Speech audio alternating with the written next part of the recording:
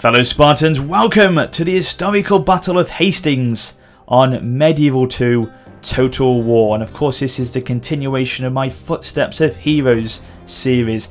And I thought I'd come back to Medieval 2 today because this weekend we are celebrating 15 years of Total War. And so Creative Assembly have allowed on Steam a number of their titles, including this one, to be played for absolutely nothing at all. They are completely free to play. So if you haven't played one of these games before and you want to do so, go on Steam, download it, and it will cost you nothing to do so.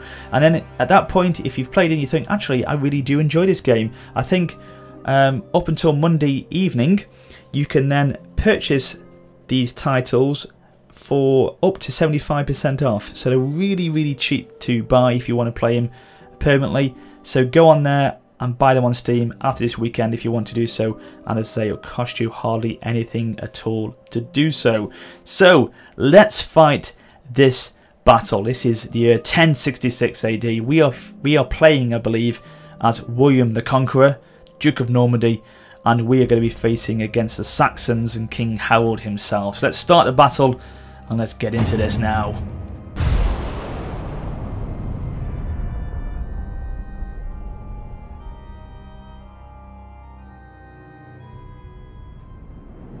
October the 14th, 1066, Caldbec Hill, north of Hastings in England. This land is ruled by King Harold Godwinson, the latest in a line of Anglo-Saxon kings. But Duke William of Normandy has a claim to the throne too. Years ago, Harold is said to have sworn to help the Duke to the throne of England, but he has failed to honor his oath, and now he rules as king. But the throne on which Harold sits is not a comfortable one, and Duke William's invasion is fortunately timed. Even now, Harold marches south from battle at Stamford Bridge near York, having crushed another invasion led by Harald Hardrada of Norway. Duke William was able to land unopposed, but now his scouts report that Harold's army is in sight and has formed a shield wall on a ridge crossing the Norman's Road. The position is a strong one, at the top of a gentle slope flanked by marshy ground, and the enemy appear happy to let the Normans come to them. The Duke has come well prepared for battle, and has many war-hardened infantry and horsemen.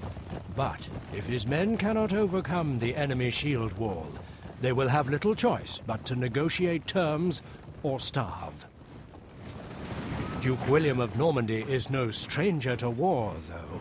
He knows that if there is no way around or through Harold's shield wall, he will have to find a way to pick it apart. The Anglo-Saxons are known for their fearlessness in battle, but perhaps William can use this to lure them from their position so that his horsemen can finish them off. The two forces are evenly balanced, but there are only two paths from this place for Duke William, to the grave or through the shield wall and onwards to the throne of England. Ah, yes, indeed, the throne of England. Wonderful. Let's see if we can achieve victory then today. The Huskarls on the enemy flanks are commanded by Harold's brothers. Killing them will disrupt Yeah. our enemy's command structure. Absolutely. Launch an assault against them and cut them Right. down. As the advisor just said, absolutely, we need to do this. Pick away at their two flanks because the two brothers there, if they get killed, then the less disciplined men will try and probably hopefully charge off the hillside if we bait them enough to do that and then we can pick away at those units and then eventually that should allow us to break down their formidable spear wall that they've got in place but uh, the Saxons, you know, they are not up for this battle really. They are fatigued. They are very, very tired, man. They've marched south from the Battle of Stamford Bridge against the Kingdom of Norway, so they are not fresh for this battle at all. Whereas the Normans- Whereas the Normans, they are, they've only recently landed in the south coast of Britain at Pevensey, so they are really up for this battle. They probably want it more, you know, they are trying to claim the, the throne of England here, so this is all on this battle for them. So, uh, yeah, it's you know, a lot of stakes here. The stakes are very high, in fact. So we're trying to. Oh, wonderful! Weakening discipline on the Great stuff. We've already taken the brother on the right hand side down, and we've already sort of weakened that that unit of Housecarls there. So that's a good start. Well done. So what we'll do now is bring this these four units of archers back, and yeah, pull them back now behind the uh, infantry line, and then we'll get a unit of cav to go in for a charge then, and see if they can, as I say, cause some of the units to pull away from the hillside there. Hopefully. Here we go. Full on charge. Oh, didn't mean to pause it. The enemy's left, then retreat to Okay. them to give Try and pull them back now. Try and retreat before they rout. Oh, no. They, oh, damn it. They've routed already before I could pull them back. However, they've done their job, though, because look at that. Four or five units are coming across now to give chase to that routing unit of cavalry. So, hopefully, in a second, they will rally together. And when we get control of them again, hopefully, in a minute, we can then pull them across behind our line of uh, spear infantry then. Come on, come on, let me gain control of them again. Please, please, please. Yes, we've got him, we've got him. Right, let's get him over. Put him across here. But as I say, they've done the job. I think four or five units, are, even six or seven actually, are coming off the hillside now to try and uh, give chase to that cavalry unit. But uh, it's, it's going to be too late. So we've got here, we've got Thanes, peasants, they're the weak units, they're the ones we do need to go for because if we get those peasants down, they will be, um, what's it, very easy to uh, waver. So we're going to pull a unit across of armoured sergeants from the centre to the right because we obviously need to support that flank and then put that unit on the left from the left, then to cover the centre. Then we'll pull these units of mailed knights across because they're going to try and get behind and try and flank them hopefully. Come on, engage, men. Hold that line there. Keep those Thanes at bay. Looks like they're trying to go for my cavalry again. They are gunning for my cavalry, but these guys are peasants, so we should be able to take these down in a second. But we're not ready yet. We need to pull them away. Oh god, they're, they're already they're already wavering. Intervention by the Almighty. Even when we haven't military genius fought them. It's pretty bad how bad these peasants are then. But the Thanes won't. They will go on for a lot longer. So we need to pull the, pull these cavalry units across to the left hand side. Try to bait the enemy to keep chasing me down. Tie them out. And at the same time, in a second, while they're coming across the field now from the from the rear, we'll get all these armoured sergeants to realign and then try and intercept them as they come across to try and get my cavalry. Peasants are gone. They are absolutely routed without probably without hardly any um, engagement, which is quite surprising. So the Thanes, here we go. Come on, units, come on, armoured spear. We need to get across there now. Armoured sergeant, sorry, get across now. Intercept those units, and then we can pick away at them. And because if we can hold them down with our armoured sergeants, then we can then get these units of cav on the left to then sweep around and flank them from the rear at that point. But we need to intercept them now with the armoured sergeants. Here we go. God, they've come in. Directly charged me there. Some units have got through though. A couple of units of Thanes are going to try and slip through the net to go straight for my cavalry again. They are gunning for my cav, aren't they? They really want them taken down. Let's try and feint a charge here. Try and bait them to come across again. They are. I think they've taken it. So we'll get this unit of armoured sergeants to come across now to intercept them again. Oh, start running. Come on, come on, come on. Get out of there. These three units can go around the back of those units of spear now and try and charge them from the rear. Here we go. This should be good if we can get round the back of these Thanes. Can give them a direct charge at that point. Okay, pull that unit of cav out now. They've done their job. Okay, we go. Let's go for an absolute almighty charge here in the rear. This should shock them into uh, retreating. It has. One unit's already wavering.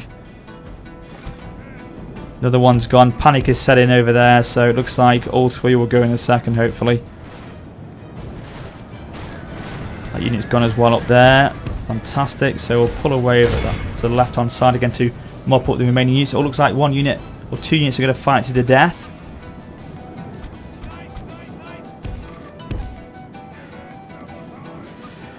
Okay, they're wavering, they're gone. Fantastic. So the cavalry over here.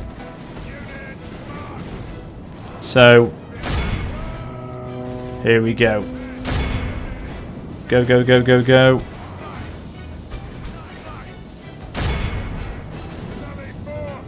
Right, they should now. We've got to pin down again here. We get that right hand side. Yes, we can really hit them hard on that right flank, and that's immediately caused them to rout and break. So they're being pushed away from the battlefield now. Well played, cavalry. Good charge there. If you get the momentum with this cavalry, they really do smash into the enemy lines pretty quickly. So that's good. Okay, those mailed knights have done their job, so we can no enemy around now, they're all routed, so we'll pull them across over there. Okay. Okay, what we need to do now, is technically, is reform the lines again. Because we're going to try and bait the enemy off again to get a few of their units to come off the hillside once more. And then chip away at those units as well. It may be that it'll just cause a mass charge to happen, but we'll see what we can do. So again, two on the left, four in the centre. I know some of these units have already lost a lot of men, but we need to just reform that discipline line again. Okay, that's the armoured sergeants done. Let's have a look at the cav. Okay, right. Paul William the Conqueror back actually as well. Now these archers need to go forward again. They need to start firing on the left-hand side at those Hoskerls over there and try and take uh, down the other brother of Harold's. If they can, please. Okay, here we go. Right, militia. Let's do your job. So yeah, look at that. Percentage killed of enemy, 28%. They've killed 15% of ours. So it's evenly matched still. Obviously, they came to the battle with more men than we had. So we need to be killing, at this stage, a lot more of the enemy than they're killing of us. So let's carry on that trend. Okay, come on, let's get up that hill as quickly as we can.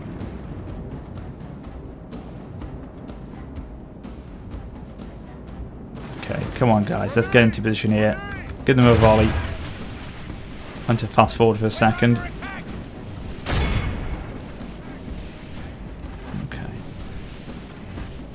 Breaking down bit by bit. Okay. Come on, hopefully now we should get him to... Uh, or kill the enemy brother, that's at least what you should be able to do now. Don't know whereabouts he is in the line there, but he seems to be hanging on. Right, well we've break we've taken down a lot of them. They're down to 35, so even if the brother's not being killed, what we'll do is we'll start to pick away at some of these uh, units in the front lines here. Try and get these Thanes down. Because we'll go for a cavalry charge in a second again. On the left hand side, so we may as well go for these centre units to try and break them down a little bit so they're weakened. So when they do charge down the hill, if they do, they are weakened to start with. Oh, we've got a unit of Huskills here as well. Huskills, sorry. Huskarls, there we go. God, I can't pronounce it. Huskarls. They should go in a second if we keep hitting them. Well, no, they won't. They won't waver, but at least they'll drop some numbers. Yeah, all go for those Huskarls actually. Before they run out of ammunition, which they are starting to do now. Good stuff, Archie. You've done your job there, so we'll pull them back now. We may use them in a little bit to support the infantry lines if we need to. But we're in the Conquer Ford as well. So yeah, we're in a position now to use a unit of cav. We won't go for actually no, we won't go for them because they're quite uh, a full unit. We don't want to waste them, so we'll go for this unit of 19. See if they can do anything. Just try and to bait them off the hill now again. Come on, let's get a full-on charge there. Bang! Definitely have momentum with that one. See if we can put them back again. Ah, oh, they're wavering already, so they've been good, but I don't think they've actually brought anyone off the hillside, which is a bad. Okay, let's go for a unit of armoured sergeants with two units of archer militia to see if they can uh, do anything. Oh, these guys are coming back. These Thanes, these, these guys have rallied, have they? Okay, we need to keep going for it here. Can't give up this charge. Hopefully this will bait them into coming off now. This will be enough to tempt them. Here we go. Looks like they're coming across this time. Come on, I want to get everyone off the hill. Come on, come on, charge. God damn it. No, they're not taking it, are they? Not taking the bait here. I'll go for another charge in a second, I think. Keep pausing it here. Well, let's pause. Let's, I will pause, actually. Let's pull this unit of cav back. and then they can go into that line of armoured sergeants there. We should be able to deal with them in a second. So that gives us a time enough to go back in again for another charge, and hopefully this time it'll be enough to tempt them off the hillside. Come on, guys. Only intervention by the Here we go. Right. Let's slow the pace down a second. Let's pull these armoured sergeants back if we can. That unit of Thanes have wavered over there, which is good, so we're now ready to take the full brunt of the Saxon army now. What we're going to do is get all the mailed knights to go onto that left-hand flank so they can start to manoeuvre around the side of the enemy. William the Conqueror will stay in the centre to rally his men. Try and get these armoured sergeants back. I think they're just engaged too much in battle at the moment. I think they need to stay there. No they're not going to come back. To kill or to die are our only Indeed. Choices. Well, let's get the cavalry across now. Let's see what they can do in a minute. Let's wait for everyone to engage first into those lines. Let's get the let's get the archers in there as well to provide a bit of support. Get these two units of armoured sergeants to go around the side and flank. Right, Cav. Now's your time. Move across. Volley the men as well, keep them going. Come on, chance, move, move, move, move, move. Gotta go, we've gotta go now.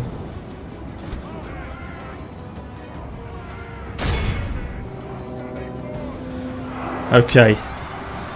Thanes are going down, hopefully. We can just try and overwhelm them on that left-hand side there. That's the big thing.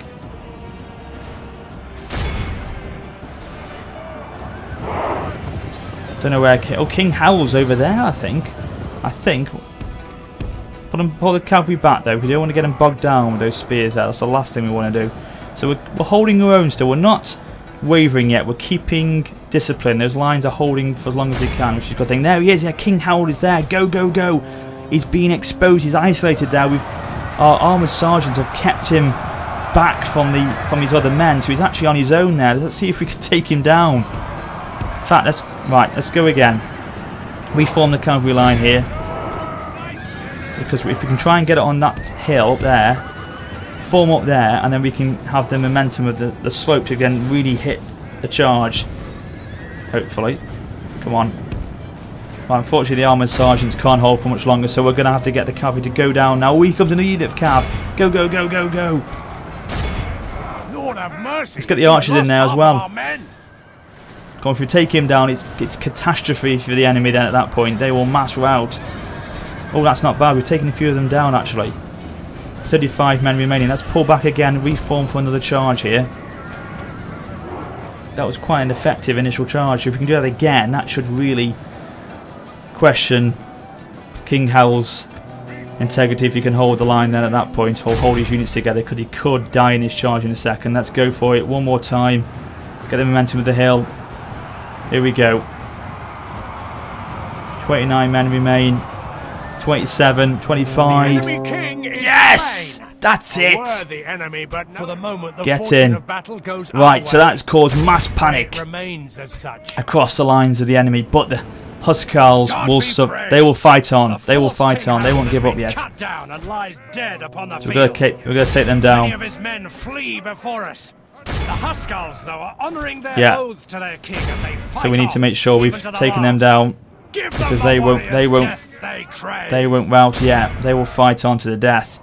Let's bring newly, hopefully soon, Newly William, King William the Conqueror across to finish off the King's unit there. Only 11 men remain in that unit now. They're all broken, they're running for their lives now, but the Huskarls, they will fight on. Look at this, disciplined man. There is, there is King William the Conqueror there at the back.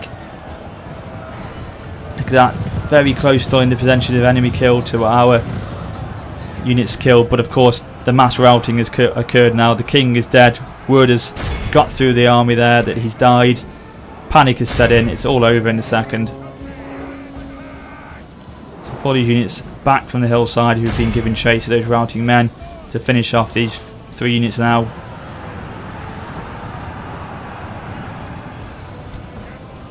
Taken down the king's unit now. They've gone completely. One more man left and that one he's gone. And then these how many left to here? Six men, so we should finish off these with a cavalry charge. Come on, let's, let's end the battle now with a victory. One more man remaining, or three more men, sorry.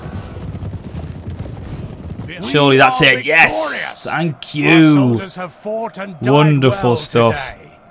Excellent. So there you go. Victory at the Battle of Hastings for William the Conqueror. An average victory, well I'll take that because that was probably one of the hardest historical battles I've ever done. That was really hard to play.